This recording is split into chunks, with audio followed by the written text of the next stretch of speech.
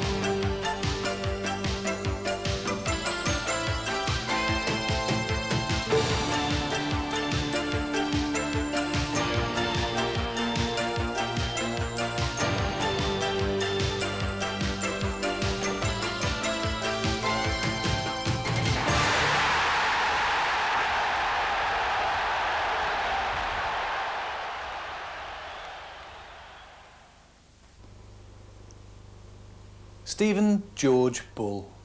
Born March the 28th, 1965, at 153 Leabrook Road, Wednesbury, in the West Midlands, the third of six children and the eldest of two sons. When he was three years old, the Bull family moved to Tipton in the heart of the Black Country, and it was here at number 2 South Road that the young Bull grew up. His first football experiences were gained on the traffic island that serves as Wembley for the youngsters of South Road little realising that one day this would lead to his stepping out onto the genuine verdant turf of Wembley itself, representing his country at international level and playing alongside modern-day footballing heroes like Gary Lineker, Paul Gascoigne, Brian Robson and Peter Shilton.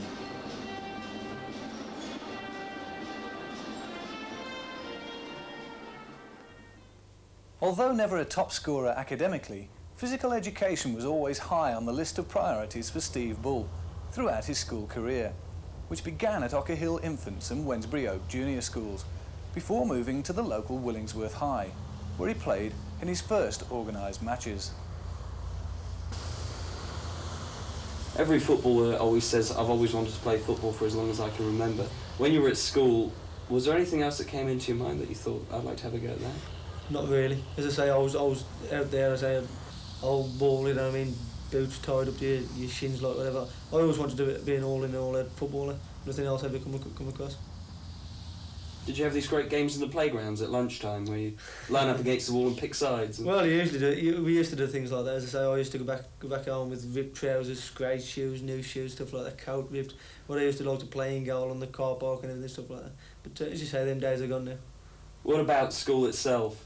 Uh, were you a good studier or not? Not all that well. As you say, I always like, the only lesson I always wanted to do is PE. That was about the only one. The other ones I just went through the exams as though thingy, uh, as though I, I was a dumb person. But uh, I'm not that dumb. Where did you sit in the class? Were you the kind of guy that sat at the back in a row of four? Or? No, I like to sit at the front but out the way. Oh, that was the teacher see you? That's it, yeah, they could see what I was doing, but they, you know, I, mean, I wasn't doing it too well.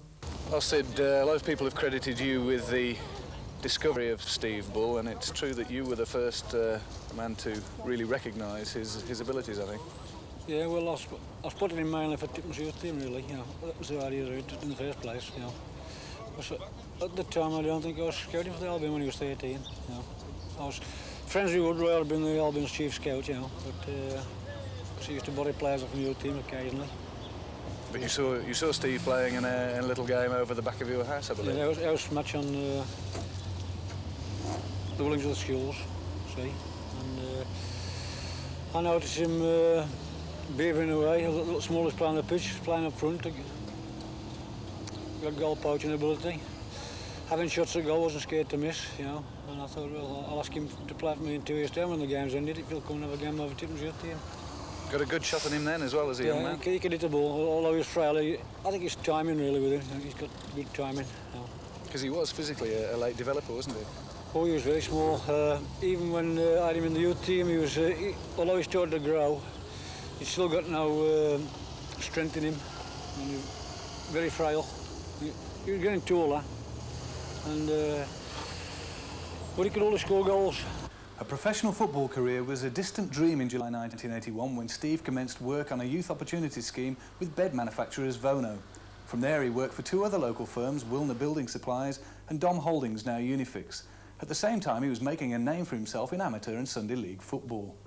Alf, now you had uh, Steve Bull playing for you on a Sunday morning. Some people will probably find it difficult to believe that uh, Steve Bull was playing Sunday morning football, but uh, you indeed had him there with your, your Sunday side. Yeah. What what, uh, what made you want to sign him in the first place? Well, St Steve's exceptional pace was the uh, the thing that first caught my eye with him. I mean, even now, I mean, people talk about his, his touch and that. I mean, I, I think people in general know that he ain't a great footballer as such, but um, his appetite for the game and uh, the sheer pace of the lad. Yeah. You know. You, you, used to go along and, and pick him up in the mornings to take, right. him, take him to play because he got no transport and That's he was right, always yeah. nervous before the games, I gather. But he didn't always get a game, did he? Oh no, no. Sometimes he had to uh, he had to take a back seat and, and, and watch from the sidelines, and, and, and that's all part of uh, uh, of being a footballer. You know, it's uh, it ain't always roses as he you know he finds now. Now you're one of his, his biggest fans. You've Oh, always sure. said that you think he's, he can do it at any level, Yeah. and, and he's proved that he can score That's, goals. at that's right. level. That's right. Yeah. I mean, uh, like I said, when, when he was in the even in the fourth division, and he was scoring goals regular, and people used to say the knockers in the game say, "Oh, but he won't score at an high level," and that. But when you've got the pace that he, he's got, he, he'll score for you know Wolves, England, whoever. You know. Do you remember any particularly spectacular goals that he scored in, in Sunday morning football? Well, it's that's difficult uh, question to ask really, Phil, because he, he basically he scored um, on average a goal a game for me. yeah. So um, the, the only thing, the only one that, that springs to, to mind, I mean, um, it was a cup final when we played um, the four in hand, and we'd lost to them the week before in the cup final. Yeah. When I told Steve, this is when the Albion at first said that they wasn't going to give him uh, uh, the contract. And Blackpool were apparently. Well. Blackpool was, was, was on his trail, but I'd got a Stoke City scout coming to the game. And I thought, well, I'll give Steve a bit of a boost and tell him, like, I've got somebody here to, you know, who's watching him. He had a nightmare. we lost the cup. Yeah. Stoke City Scout went away. The second week, we played them in a game, the same side, four in hand, the team who Brian Robson used to be associated with when he was at the Albion. And um, we beat them 3-1. Bully scored two cracking goals. And No, if he'd, no, play, if no, he'd played well the week before, he could have signed for Yeah. Stoke. But he, as it was, he went to, to Albion. As it, as it was, the Albion changed their minds, and uh, I think that's all a bit of sense in the end. And, um, well, re- rest speaks for itself, doesn't it? I took him in on the first Monday of the Christmas, after the Christmas. And uh, told Nobby Stiles, Nobby Stiles asked me about him. I told him he couldn't play for Toffee. Why did you say that?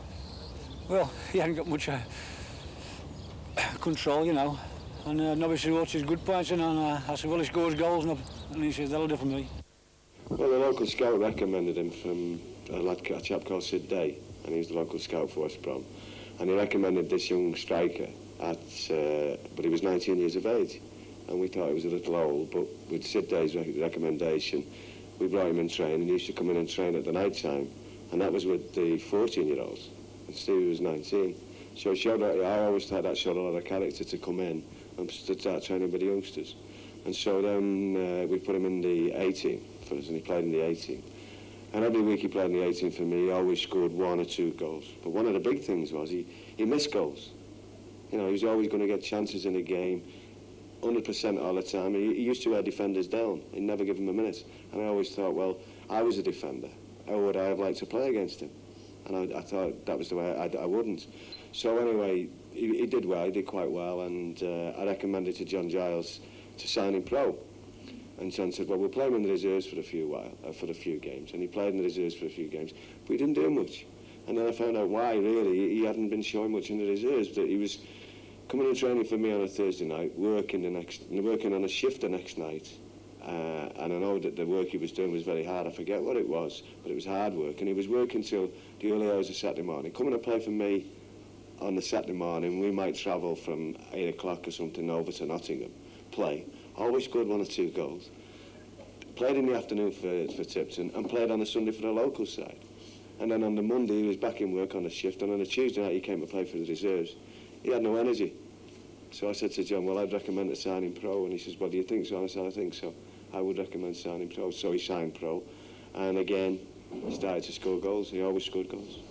Despite impressive goal-scoring performances and occasional first-team appearances, Bull failed to persuade West Brom manager Ron Saunders of his merits, and Saunders subsequently transferred him to nearby struggling rivals, 4th Division Wolverhampton Wanderers. I think it was a very big disappointment for Stevie, yeah. It uh, to say it was anything less was... Because as I said, he was a Tipton boy and, he, you know, he, he'd been given the chance at West Brom and he, I used to love playing for them. Um, but I think, uh, to be fair, I think it was the right thing for him. You know, people said, I'm sure, I'm sure West Brom would now look back and say, well, wish we'd have kept him and we'd, you know, would have had this and we'd have had that. But I think it was the right thing, and I think Ron Saunders did the right thing for him because he wasn't really getting his chance there, and uh, he went away, and I think it gave him that much more belief in himself as well. And he was going to show everybody, which he has done. And I think, uh, it's, it's, you know, I, think Ron Saunders was right for that.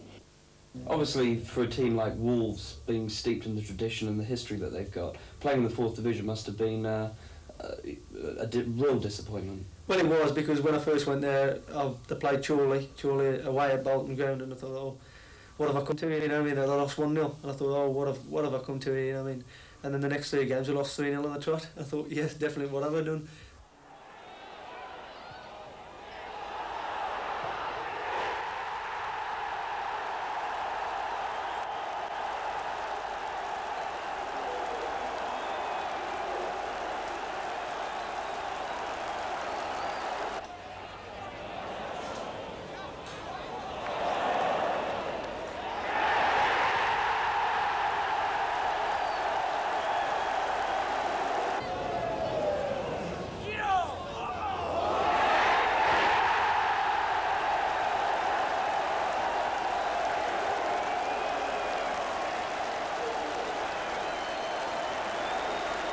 Yes, I think the um, re-emergence of the club as a force in English football has gone hand in hand with, with Steve's achievement. Um, I think as a manager and as a coach, you get a lot of satisfaction seeing a boy that you take from uh, second division club's reserves and watch him develop into an international player.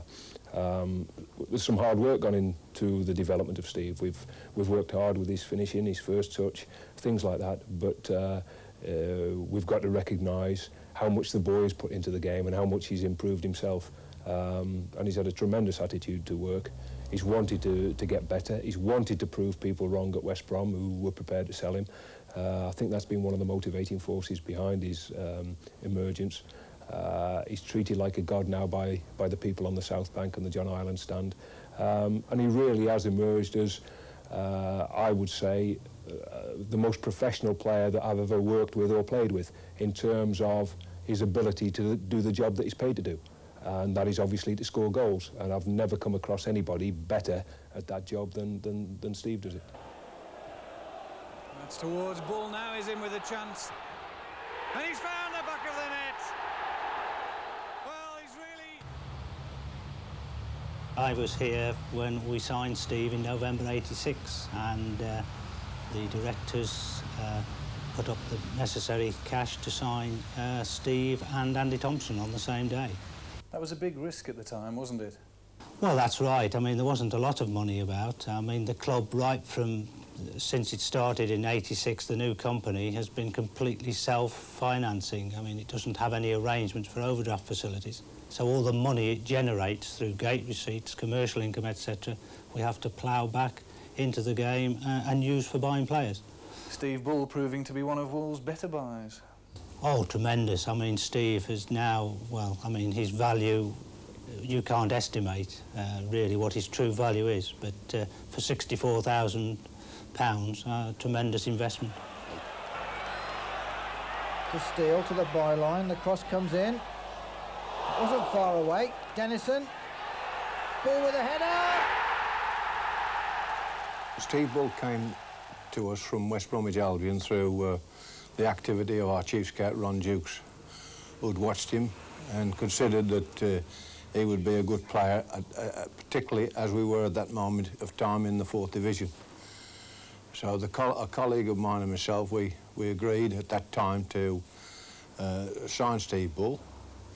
Um, the terms seemed right, apart from the, the fact that we did a cross deal with West Bromwich, which gives them part of the profits, which is a, but still that's the, I'm sure West Bromwich feel as, uh, uh, as much sorrow about that as uh, we are, in fact, over the moon about. Well, Ron Jukes, as Wolves chief scout, you were well aware of the abilities of Steve Bull, and at the time that Wolves were struggling and not scoring any goals, uh, he seemed a, a likely target at West Bromwich Albion. Is that right? Uh, yes, Steve was scoring goals in the in the Albion reserve side.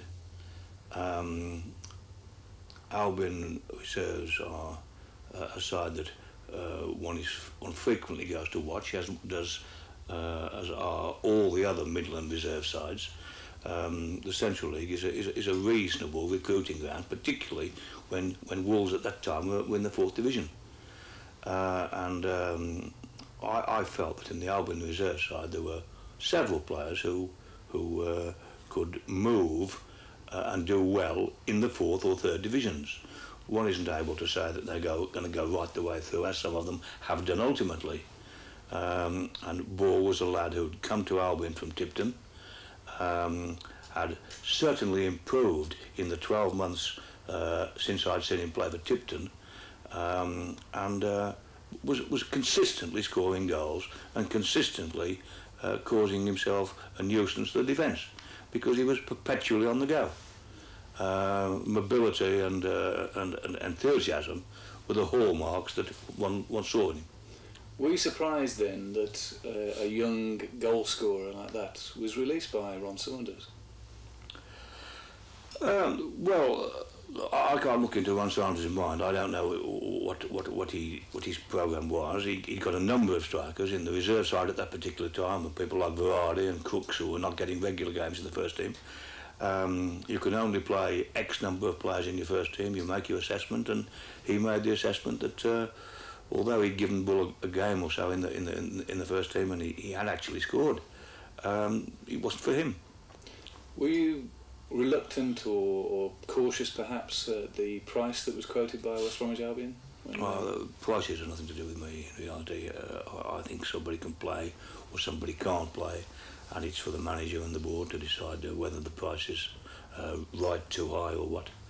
Um, with hindsight, everyone would say it's, it's not very much. At the time, fifty thousand was a was a big fee for Wolves, um, and uh, we, we subsequently went back and bought um, uh, two other players from the Albion in, in in a very short space of time.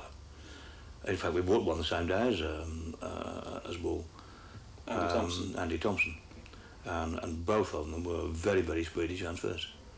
Andy, you perhaps better than anybody else at Molineux know Steve Bull because you were with him at West Bromwich Albion. When he came to, to West Brom as a raw non-league player, how did the, the rest of the professionals at, uh, at the Hawthorns view him? Um, well, first of all, he come on trial like to start with before he ever signed professional, and he was like um, doing well in the reserves, knocking a few goals in, and um, I think that's what got him the contract at the club. But he was um, doing well, scoring in the uh, reserves. Were you surprised that West Brom were prepared to, to let somebody who was scoring goals go and who had a potential and was young to, to another club? Um, I was very surprised. Like I was waiting in the offices at the Albion when Steve come in because they told me I was travelling down with somebody else for the Molineux. I was very surprised to let him go because the amount of goals he had scored for the second team, and he scored. I think it was three in five games for the first team when he played then. So I was very surprised that they let him go. Now, what was the story around the two of you moving? Because it happened very, very quickly, didn't it? Uh, well, I just went in for training on the one morning, and like one of the trainers says to me, um, the manager wants to see you down the ground. So I travelled down to the ground. He says um, Wolves coming for you. They made an offer, and we agreed. We didn't talk terms. And I was about to set off, and then they says, "Wait a minute, there's somebody else coming down here." And that somebody else was yeah, Steve. Steve coming to the office. And you developed a, a great friendship with him from that time, didn't you? Yeah, well, we travelled down together, like, 'cause Steve had the car, and we travelled down, and he's just gone from there, because, like, we come together. And you came into a fourth division setup here, pretty poor ground after the Hawthorns, which is a, a beautiful setup. You must have uh, wondered whether you were making the right decision, perhaps? Um, it did get through my mind after I made the decision, like, because um, we just played Chorley and we just lost 3 0 when I did sign. But from then we've done well, we've battled hard and we've come up. Now, when you came, Steve went in first to see the manager, I believe, and he, Graham Turner, Turner says, was the fastest signing he's ever made until he signed you. Yeah, um, well, he says um, whatever it's um, looks at a good setup like, and he says like them building for the future and that. So we went in and like talked to the, the manager, and what he offered us, um, we liked, so we signed. Steve, in his period with us, has been the makings of the club, really. If one takes into account his goals, that's the reason we won the, the fourth division, the reason we won the third division. He's a tremendous character. I've dealt with him and his contracts over the last two years. He's uh, been in to see me on both occasions, particularly recently on his trip back from Italy. But it's been a pleasure to do with uh, the chap. I mean, the two interviews to, to uh, fix his salary have taken 15 minutes at the most. Uh, we've had no cause to disagree and uh, anything he's asked for, not we've given him, but we've edged a little bit each way and he's, he said, yes, I never want to leave this club. And I take the view that if he never wants to leave this club, he won't leave this club.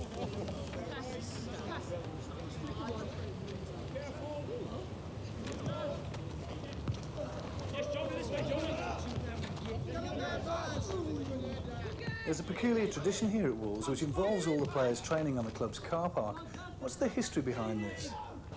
Yes, this is uh, a tradition the manager started a, a few uh, seasons ago um, where they used to have a little five-a-side on the car parks and I think the following day when we played the game we had a tremendous result and they've done it ever since and the players seem to enjoy it. They have a little bit of uh, uh, competition. There's a yellow jersey which uh, is awarded to the worst performance of the morning on the car park, and that causes a little interest between the players. And I think it, it gives a good spirit for the players prior to, to the game on a Saturday, and they seem to really enjoy it. Has Steve ever been awarded the yellow jersey? Oh, I believe he's had it once or twice without without doubt. Um, uh, there have been mornings when he's looked abysmal, and Uh, he's tried his hand at playing at the back at times, and uh, uh, but yes, he's, he's, he's had things like that. His toughness is, is built around wanting to score goals. It's as simple as that. I don't think he's a dirty player, um, but when he gets a sight of goal and the ball is around about him, uh, nothing stands in his way, or he doesn't want anything to stand in his way, and uh, he's prepared to knock defenders uh, sideways if necessary to get a strike at goal. And I think that has um, fueled that sort of image of uh, a bull-type player. Um, but I think that he's also taken a lot of stick from defenders and at times intimidation. And unfortunately, on two or three occasions, he's reacted to that intimidation. Um, but I think that having been sent off a couple of times, uh, he's learned from that. And I see now keeping a cooler head, uh, prepared to take the intimidation and the hard tackling and get up and get on with it. And it would be fair to say he certainly gives as good as he gets out there. Early on in my career, I was very, very, very raw. I mean, I'd snap at anything, I'd have, a swing, I'd have a kick, I'd have, you know, I mean, I'd do anything to stop the defender to stop pulling me. But now I think myself, I'll just turn around and I'll, I'll look at him, I'll laugh at him, and I'll put the ball in the back of the net, and that, that hurts him more. Uh, it's far more pleasurable for you than getting a yellow yeah, card, I'm isn't it? punching somewhere, laughing Yeah. and saying, oh, God, I've sent off again, like, you know what I mean? How much do you have to concentrate during a game? How how often can you have a lapse of concentration, or can't you? Well, you have to you have to put your shirt on and that's it. Forget everything, the radios off, everything, nobody's talking to you, whatever. You just have to go on that pitch for 90 minutes and concentrate all on the game. Forget the fans, forget the televisions, forget everything. In fact, the only person in the upper tier of the Waterloo Road stand is the Wolves manager, Graham Turner. And that drops the ball, fires one, 1 0. Well, he'll be delighted. That's put Wolves ahead. Turn from Dennison. That's a beautiful ball in for Mutch lays it up for ball. 4 0. Leicester fullback. That's a great ball through. Steele now. Ball in again. Can he get his hat trick? He can. 3 0. Three goals for ball. 5 0 to Wolves. Taylor allowed space to chest it down. It wasn't good, a good layoff from him, but uh, certainly allowed a little too much space. And Dennis neatly through for Bellamy. Wolves away on this left side now. Through with a run on goal. Fires it. 2 0. Well, you can't allow that sort of space to Steve Bull. His finishing is absolutely lethal, and you really cannot afford to let him get that sort of space behind the defence. Ah, now Steele. It's a good cross to the far post. Bull's there. 3 0. Bull will chase after this. Gets there ahead of Rennie. Gets away from him. Fires one in. Straight through the keeper's legs. Oh, poor Ronnie Sinclair. Would you believe it? Well, you have to feel sorry for Ronnie Sinclair there in the City goal. Obviously, being the goal scorer that you are, you attract a lot of attention, press attention as well. Do you buy every single newspaper available and sit and read them? I usually buy, them, but uh, as I say, the girlfriend don't like the press. Well, I don't like the press actually, but uh, as I say, we buy the papers just to see whether I've been to the match or not. But uh, some reports, they're not even at our game. I don't think so. Do you sometimes read them and think, well, he must have been at a different game to me? maybe? Well, it is. It's a, it's it's not in your case, but uh, in my case, playing football, you read the paper, you think, oh, it's it's a lot of rubbish sometimes. Does that affect you at all, though? If you get up and you think you've had a game and somebody says, oh, Steve Bull was rubbish yesterday. Well, it does. They say, I wake up and I think, oh, I, I, had a, I had a decent game. I worked hard. I never scored, but I worked hard. And they say the papers all booted out, should be out, and all this. But uh, as you say, some of them don't even go to the games. I don't think so. Well, Paul Stancliffe, obviously you've seen Bully at close hands from both ends of the pitch because you've been a defender against him for Sheffield United and now a teammate of his at uh, Wolves. What is it, from a defender's point of view, that makes him such a difficult player to handle? I think his his ability really just to, to unsettle defenders. He's not frightened of running at them or running past them.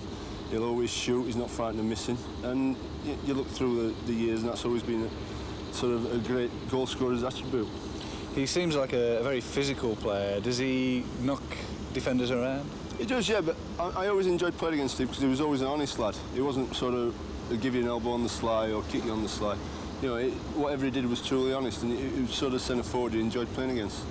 Now, as a, a man who played for his local sides in Rotherham and, and Sheffield, you understand the uh, the fans having a certain uh, empathy with him because of him being a local lad here in Wolverhampton. Oh, definitely. I mean, he's done he's done tremendously well. It gives the lads uh, on the cop something to cheer about. You know, they can sort of relate to somebody like that because, like I say, he's come up as a local lad. you know, there's probably a few on there that went to school with him. They, they know him, known him years, so they, they always like somebody to cheer on like that. Bishop is released. Mutch. He fires it through for Bull. Truly 2 0. Well, that's a disaster by Ian Bishop. Absolute suicide. Steve, I think it's fair to say that uh, certainly at Wolves, you're what might be classed as a local hero, aren't you? The fans there certainly have taken to you. Well, the fans love me because, uh, as you said, I score goals, and uh, they enjoy coming down, playing every week, and just just seeing goals and seeing me win.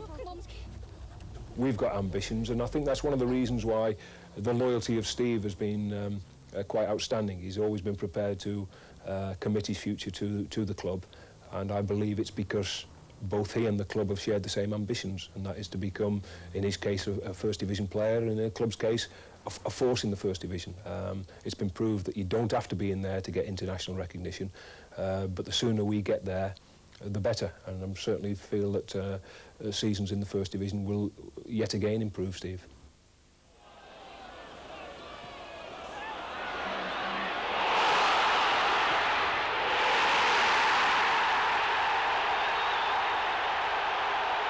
Header away Ritchie, neatly brought down by Cook and volleys it up in one motion. Bull, surely 1 0.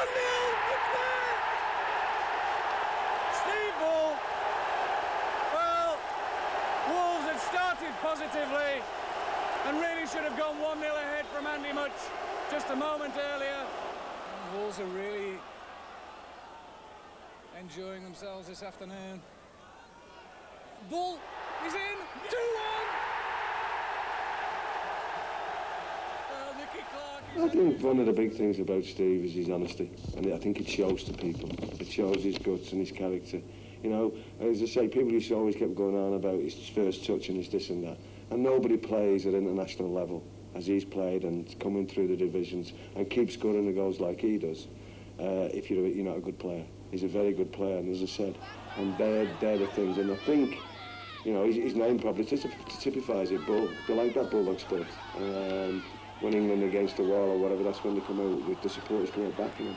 And I think they identify with Stevie. He's always he's always going to he's always to be there. He's always going to be working hard for you. He's always going to be there. And if there's half a chance, more often than not, Stevie will hit the net. Well, here we are, Albert, uh, just before Wolves fans set off for yet another away trip, and to see their hero in action, hopefully uh, scoring goals at Ashton Gate. Bully is an absolute hero to the to the Wolves fans and has really almost single-handedly helped to rebuild this club, hasn't it? Oh, without a doubt, without a doubt. I think we were sceptics in the early days, and you had people in my ilk saying, "Well, he, he's not as good as the old school." But I mean, in fairness, we got a bow to the lad. He's put Wolverhampton back on the map, the team, everything. So far, uh, you can't praise the lad enough. He's done wonders for the club, and he's most certainly the hero of the day the Wolves fans love him as, as a almost as a god, really, and it's something that you can actually uh, build on. You can use the, the Steve Bull image uh, to to carry along uh, projects for the for the supporters, and I think particularly of the trip to Newcastle. Well, that was a wonderful event. I mean, it was very, very, very difficult at the time. But uh, Steve, as though somebody waved a magic wand, both in both directions, I think he took something out of the crowd that day and we certainly took something out of Steve. And uh, as you say, it was script written, really. It was a mag magnificent day, and, and he couldn't have done more. And it was down to a sole man in that particular instant to, to put four goals away. It was incredible.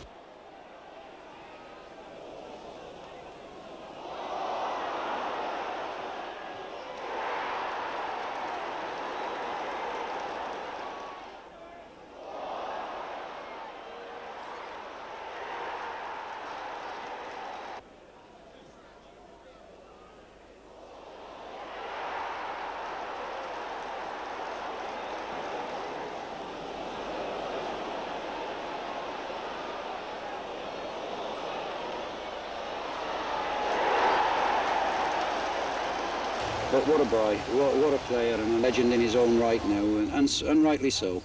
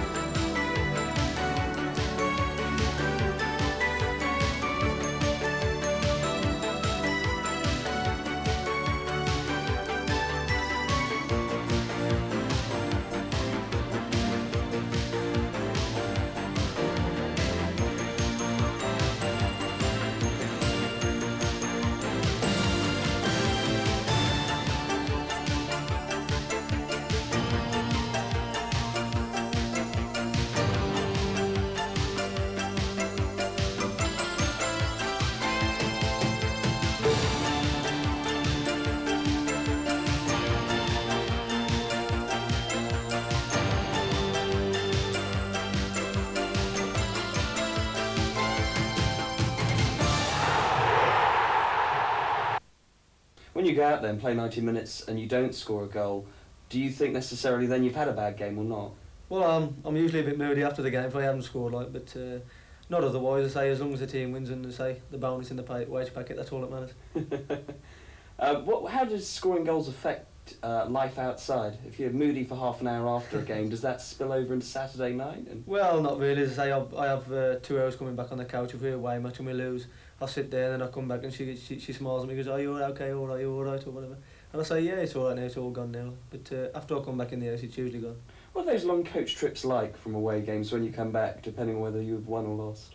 We have a game cards and relax and have a, have a drink on the way back and it, it's relaxing really. If you've had a bad game or the team's lost, you sit there and take the game apart and, and say it was your fault for letting that one in. Well, we do, but we don't blame each other. We, we, we look over our mistakes and think, oh, we should have done that, we should have done this. But uh, we never blame each other. It's, a- team. It's a team game. On the side of being a team game, being a scorer up front, how important is it for you, for the players around you to be playing well? Well, they've got to they? because uh, on the on the goal getter, the same as Andy Mutch now. Um, but uh, that we have got to have the balls, the supply of the balls to put the ball in it. But uh, it's it's on our own backs as well to do a lot of contribution to the other team as well to get there. Andy, they say that all good striking uh, partnerships are pairs, and very much it's a, a case of Steve Bull and Andy Mutch that have worked together to bring Wolves from the fourth division into the second division. Did you ever have any inkling when you first made that partnership how successful it would be? Not really, no. I think at the, at, the time, you know, we just got thrown together, you know, and uh, Steve came from West Brom, you know, he wasn't really very re- recognised then, and uh, since he's been at the club, you know, we've worked hard together, and uh, we have formed a, a reasonably good partnership together, really, and uh, I think obviously Steve's uh, in the forefront, obviously being at the international level, but I think we do have a good partnership together, but obviously at the time, I didn't really foresee that. You've, you've had to work together. I mean, in times when you've been injured and he's not played so well, people do feel that you do contribute quite a lot to, to his game. But what's he like to play alongside? Well, he's very easy to play up front with, to be quite honest, because he's very hard working and honest. You know, you know, if there's a ball played down the line, he'll be the first to run to it. You know, and vice versa. We both work hard for each other. We, uh, we talk a lot together, you know, before we go out, you know, and we conscientiously want to do well for each other and, you know, try and create goals for each other. And I think if you've got that, you're halfway there, you know. He does score an incredible number of goals for the games he's played. What do you put that down to? Well, he's very strong and determined. Like you know, every game he plays, you know, he wants to score goals. He's, he's very hungry to score goals, and, and obviously he's got a very good strike and he's got great pace and uh, and strength. And if there's a, you know, sometimes a 60-40 ball, you know, he's always strong enough to get there. He's had criticism from people who say that his first touch isn't good and that uh, he'll never play well at the very top level. But you've played very close to him. Do you think he's got the ability to do it at any level? Oh, without a shadow of a doubt, you know. I mean, if Steve played for a top first division club tomorrow, I'd have a. He'd be a top, amongst the top first division scorers. There'd be no doubt in my mind that that'd be the case, you know. But they've mentioned about his first touch a few years ago, but that tends to stick a bit. I think what happens is uh, they said he didn't have a good touch, which he may not have when he first came to the club, but he's, been, he's improving all the time, you know, as a player. And I don't think he'd be in the international international squad if he couldn't control the ball. Simple as that.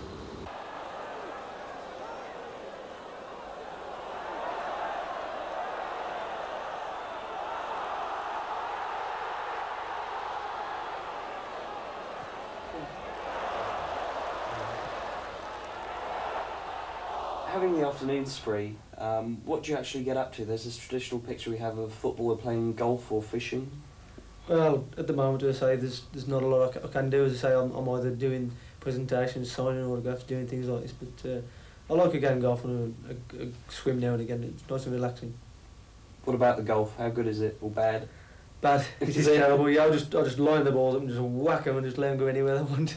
Is that relaxing though as well? Does that is that one point where you can forget about the football? It is because you're out and there, you know, on a three mile course and nobody can bother you. Just hit the balls and just have a bit of fresh air and just get out there and take no notice of anybody.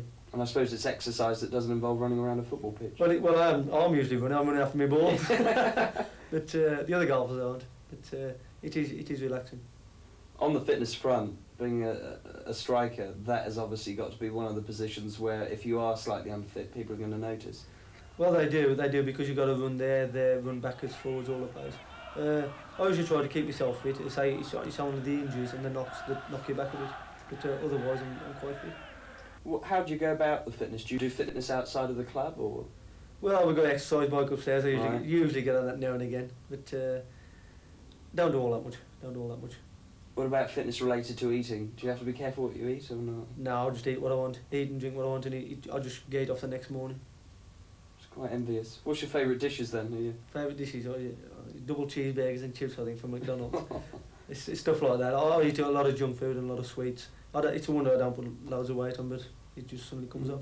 They ever say at the club, oh, three burgers too many this week? Or No, they, they don't know what I eat. They only know what we have for pre-match and I have nice steak, egg and beans, something like that pre-match, or cheese omelette. is that still the traditional pre-match meal, a steak? Is that? That, that is a pre-match meal. Well, well, all I have now is cheese omelette, beans and toast and a nice cup of tea. And then I'm, I'm ready for ready to go then.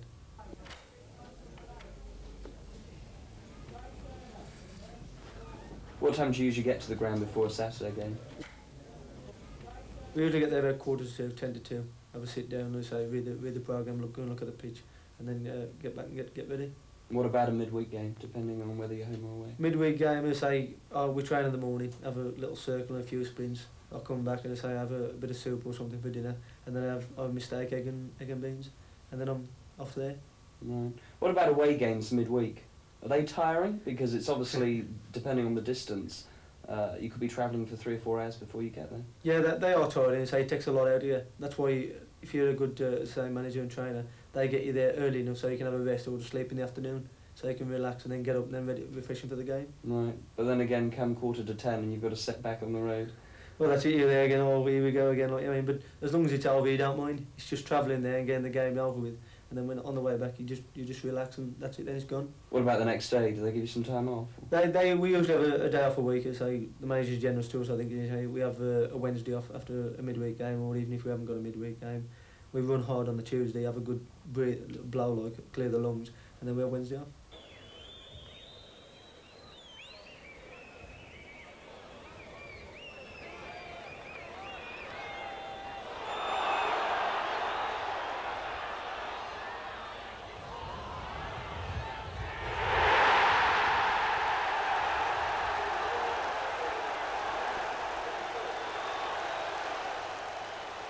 What makes a good referee? Do, do referees come in and have a good lengthy chat with you before the game? Or? Not really. They, they check the studs, check your rings, check your necklaces, whatever, and all that, and uh, they just say no swearing, ten yards away from the ball, and I'll just let the play go on.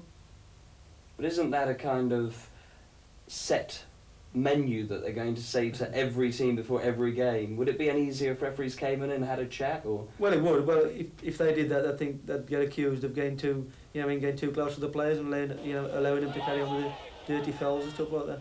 But uh, I think the referees should just keep well away from the players and just do their job and we do our job. But isn't that one of the problems that the referees are being accused of not understanding the players?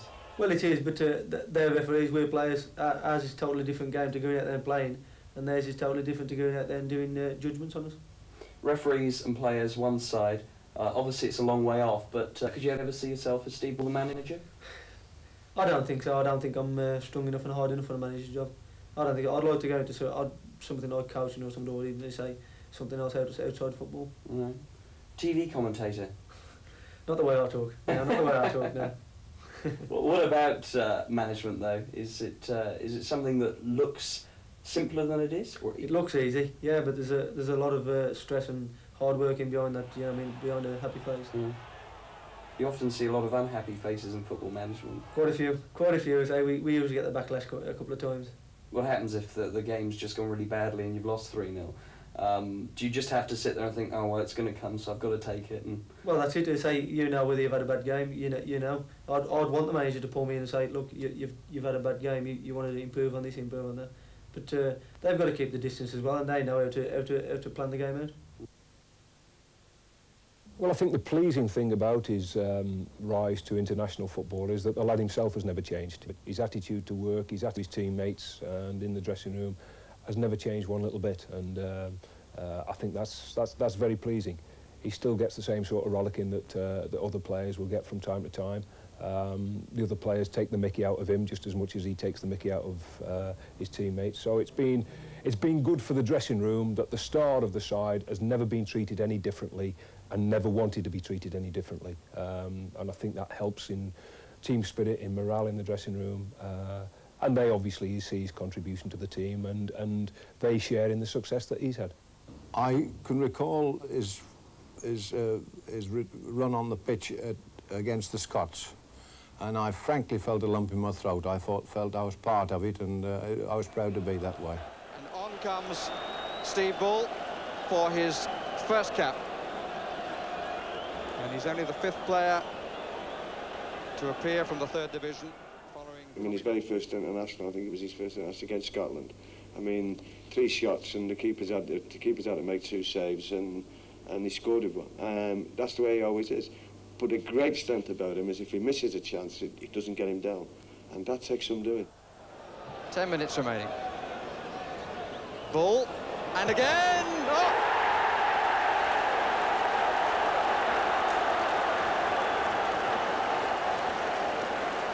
Right in the corner, what a start. Scoring on his debut. The man from the third division and Wolves, although they're about to leave there, scores on his first appearance at senior level.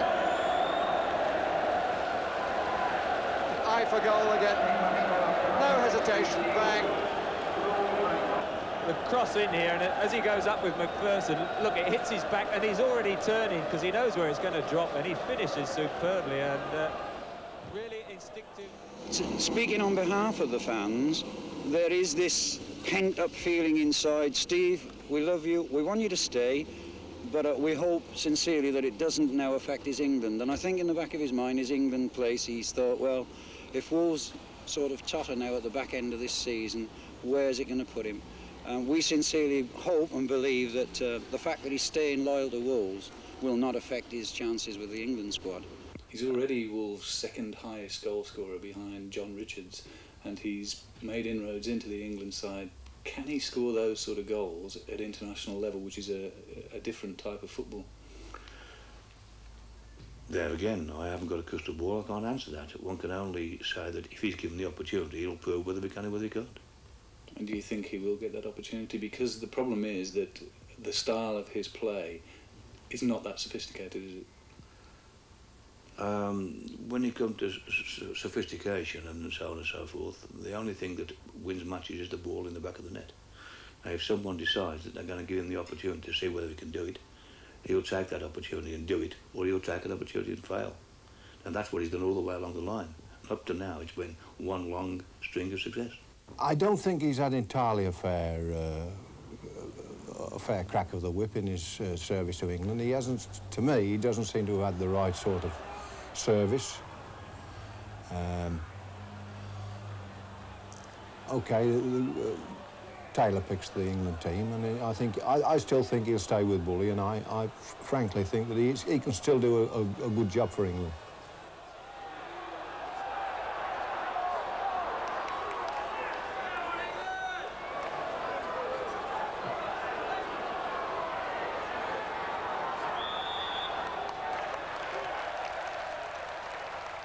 We've had a change of manager during the, uh, his brief career in international football.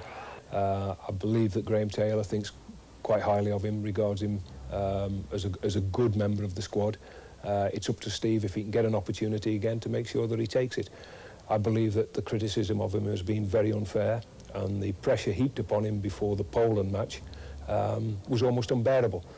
Uh, he was the golden boy during the summer just prior to the, to the um, to the World Cup. Everybody was championing his cause to become a, a regular in the England side. Um, but unfortunately, having got there, then the press uh, and the media in general just, just turned against him. And he's, uh, when you get people like Sir Alf Ramsey being very critical and feeling that he shouldn't be a member of the England team, then I think sooner or later it's got to, got to affect the boy. And I watched the game against Poland very closely, and I felt that he didn't do himself justice in the game. Uh, he looked a little bit uptight uh, which is to be expected with the amount of pressure that had been heaped upon him. Um, but I believe that he will emerge as, uh, as a very good first division player with this club um, and further stake his claims for a place in the England side, a permanent place in the England side. People talked about the partnership with Gary Lineker not being a successful partnership. Um, one wonders how long Gary will go on playing for England, uh, although he's doing an excellent job at the moment, and I wouldn't dispute that. Uh, I feel Steve has got the um, the potential, the ability to ultimately replace Gary Lineker in the England team.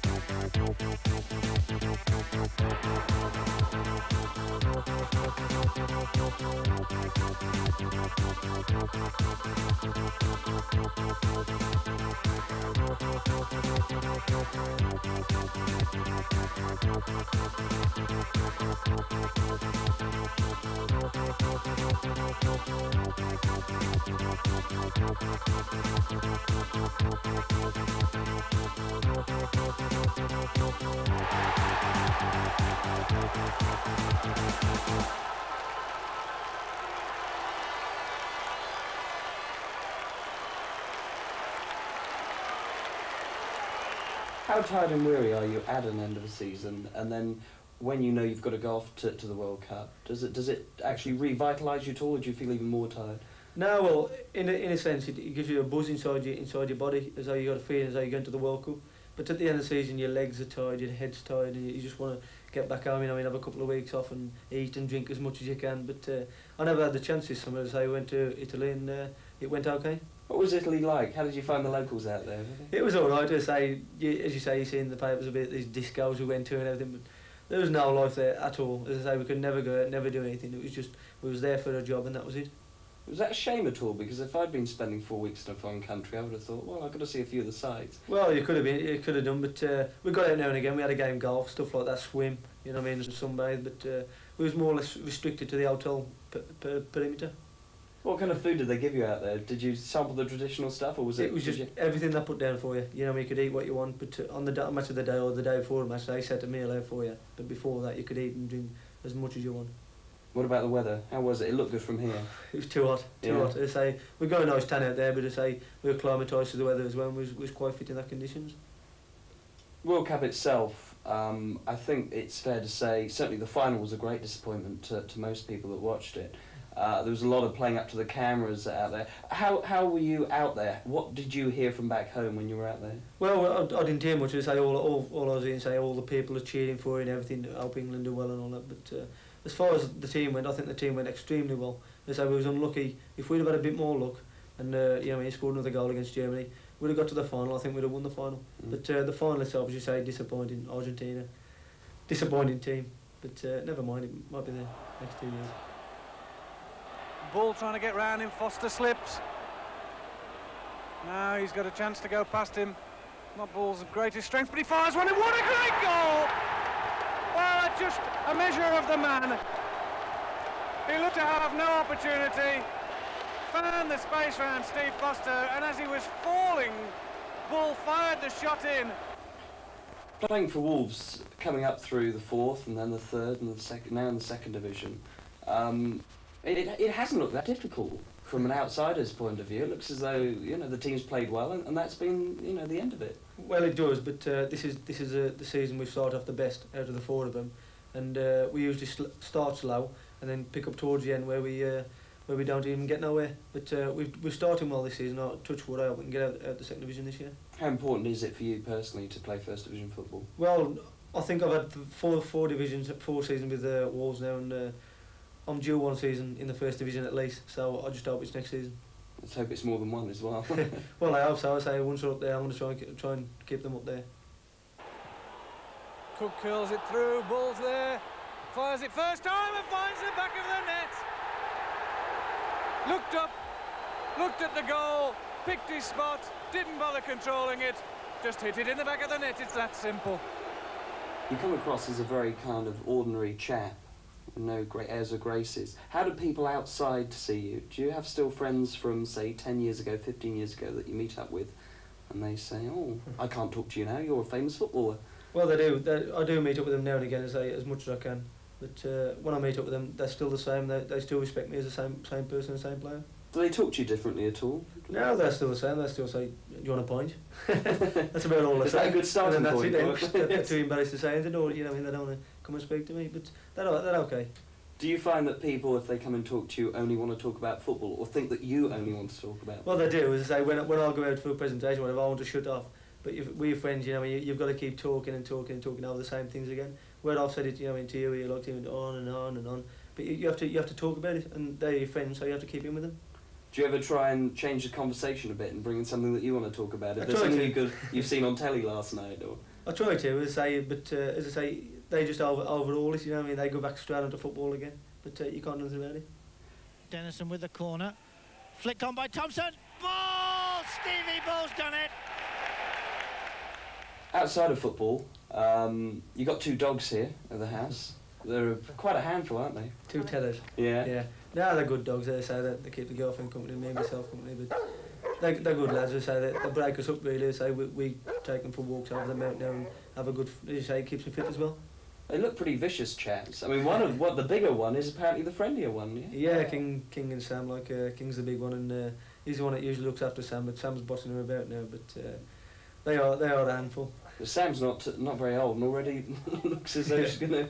Well, he's going to be he's going to be a giant. He's he's 14 weeks old now, but uh, they're not ferocious at the moment. To say if I go to eat the girlfriend or whatever, they'll they'll go for me. You know what I mean? They'll, they'll have me straight over. No trouble. What about taking them out for exercise? Is that full time occupation? it's like that, you know. In two two dogs and two leads, your arms are out and everything. You come back, your arms are bigger than you what they should be, but they're all right. Good company as well for your girlfriend. Very good. As I say, I, I go on the England trips and I go on, you know, in the Wolves trips and everything. And as I say, she's she's got somebody to shout at. Well, does she shout at you when you're home then? Or? Well, a few times.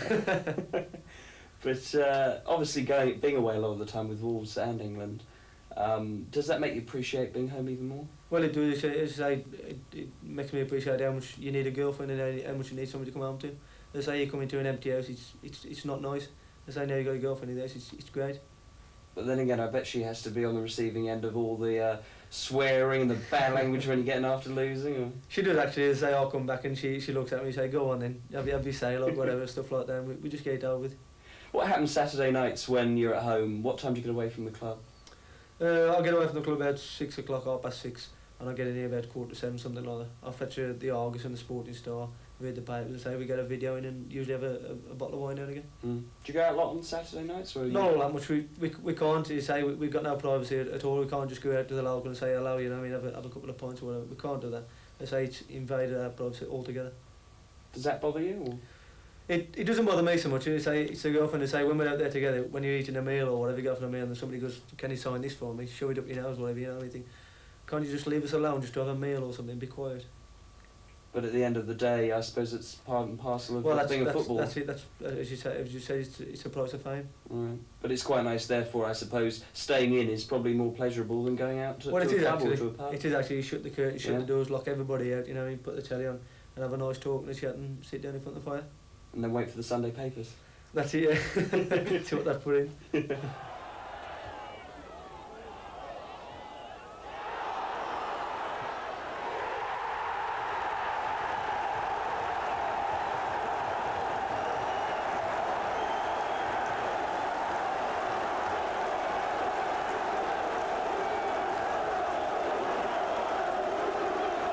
What about videos? Are you a big video fan?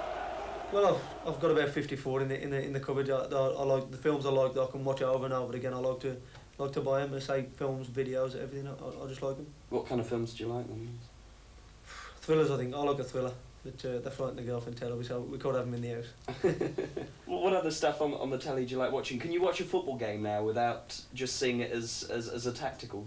Well, I, I don't like watching like the big match, the whole coverage of it. I like the highlights. You know, I mean the highlights. It says, as you say, the same as cricket and golf. I like the highlights to show the good parts and not the bad parts. But do you ever sit there watching a game live, for example, and saying, no, no, no, that's Yeah. not the way to do it? Well, I'm always on the edge of tearing my feet, feet to go, like, you know what I mean? I'm saying, oh, oh, oh I could have done that, oh, I could have done that. Who do you actually admire then, first division wise? As a player? Yeah. As a player, I've, I've always admired Ian Rush. Ian Rush, I've always, you know, I mean, looked at him and I think to myself, oh, I'm clinically the same player as he is. So what makes him a better striker than than other strikers? What has he got? Is it intuition or is it Goals. Yeah, When the that's ball a in good it. start. That's a As I good say, the, the other strikers, I mean, they have off weeks and on weeks where he, you know, he keeps plugging away and getting goals. Cook takes it over. Gets inside, good ball in, ball. He scored. It's about his second touch. And Stevie Bull finish starts this season when he finished last. Phil Evans having to battle there. And Timmy Steele as well. That's a good cross, and Bull is in there for his second. Harris wins, but only as far as Dennison to Bull. Is he on for the hat trick? He certainly is. Here we are in the games room with a feral collection of silverware over there, Steve. Yeah, they say there's a, quite a few trophies up there, and they say the golden boots and uh, a couple of sign balls as well. They say it's, that all all things I've won all gathered up uh, over the World Cup in the future. And I think the display's down to you, isn't it, Julie? Yes, he left it all up to me. Yeah. Very But tastefully done, though. Especially the cleaning as well. yeah. There's a collection of caps, there's the golden boots down there, but also I see, along with the signed hat-trick balls, uh, a pair of goalkeeping gloves. I didn't know you were thinking of changing position. No, I was I was going to try about it, think about it, but uh, I got no chance of that. But uh, I asked uh, Peter Shilton at the World Cup, and he, he signed them. They, they are a pair that he, he wore at the World Cup, so it's a good souvenir. Yeah. Lots of other souvenirs from the World Cup. There's the, one of your England shirts over there, which is signed by all the team. Yeah, I just picked a, a shirt out of random, then got everybody to sign it. Just things to look back on, you know, in good memories. And uh, loads of other pictures of Wolves games, England games. Uh, some of them photos, and there's actually uh, a, a painting over there. Yeah, there's a, a painting there, leader of the pack, and uh, that's a limited edition uh, that people can buy, a mail order. But uh, all the rest are just uh, picked from random and uh, put in frames. And the best bit's got to be this corner. Well, it is when uh, on uh, they say the, the, the six week holiday when uh, when other, everybody else is working. It'd be nice in here for us to just to sit down and have a nice quiet drink. Yeah. Are you going to be banned from this room, Julie? I think I already have. It's a men's room, mate.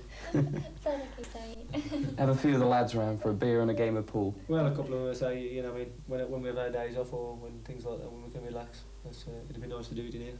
What is it, do you think, that makes him such an incredible goal scorer? Well, goal scorers are born. They, you, you neglect them at the pebble. People tell you that so-and-so can't play and so-and-so can't play. They, can't do this and they can't do that. But they put the ball in the back of the net. I learnt a long time ago that if they scored it off the back of the head or the back of the back of the arm, uh, they scored goals. You respected them. Um, Steve had got a, a single-mindedness. He wanted to score and would chase anything to score. And that has stayed with him. Uh, other people have, have, have been short-term wonders and got goals and then died away. He hasn't. Uh, he's just got on and on. Thompson inside for Bull. Finds space for the shot, and it's there! Well, Bull, only his second touch, really. Thompson's throw. Ball getting highest. Mutch. Bull in the back of the net! Now Dennison in, surely. Hits it straight into Brian Horne. Horne rushing around, surely into the back of the net it goes from Bull. Cook. And Mutch with a little bit of space. Whips it across the goal. and Bull's there in the back of the net. Cook on the edge of the area, flicks it up. Neatly finds Bull. Here on the back. Cook looking for Bull again. Gets the header in over Vasey. It's! Thompson whips it in towards the back post. Bull there. And gets his second. Would you believe it? Thompson. An excellent cross. I, I believe that uh, Steve Bull will stay at Wolves for the whole of his career. I certainly hope he will. Um, obviously, the temptations will come his way to move on, but I firmly believe that uh, Steve's roots are obviously in the Black Country. Uh, he's certainly happy playing for Wolves at the moment. Hopefully, Wolves will give him First Division football in the not too distant future, and, and I can't see any reason why he should want to leave us.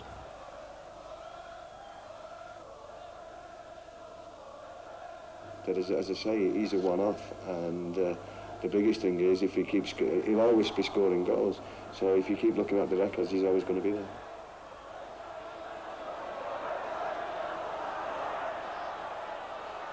I'm his greatest fan, there's no doubt about that.